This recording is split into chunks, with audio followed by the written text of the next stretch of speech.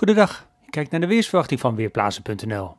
De witte plukken op de Noordzee en boven het oosten van Engeland, dat zijn allemaal buienwolken en die koersen allemaal richting Nederland. Vanochtend trekken de meeste buien over het noorden van het land, maar later vanochtend en vanmiddag neemt vanuit het westen de buigheid verder toe. De zon schijnt echter ook geregeld, maar zodra de buigheid vanmiddag een hoogtepunt bereikt, heeft de zon het toch wel moeilijk.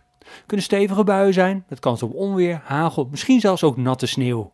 Het is 4 tot 6 graden, tijdens een stevige bui daalt het kwik tot iets boven het vriespunt. Zou daardoor ook een drukke avondspits kunnen worden. Ook vanavond nog diverse winterse buien, meeste buien in het midden en noorden van het land. En de temperatuur daalt tot dicht bij het vriespunt, dus we moeten ook rekening houden met gladheid. Morgen is het veel beter weer. Het is zo goed als droog en er zijn flinke zonnige perioden. Het wordt 4 tot 7 graden. Vroeg in de ochtend kan het lokaal glad zijn en ook mist is mogelijk. Woensdag, donderdag en vrijdag is het wisselvallig weer. De bewolking overheerst, er zijn perioden met regen en van tijd tot tijd waait het flink. En de zon, die moet goed haar best doen om door te breken, maar af en toe gaat dat toch even lukken.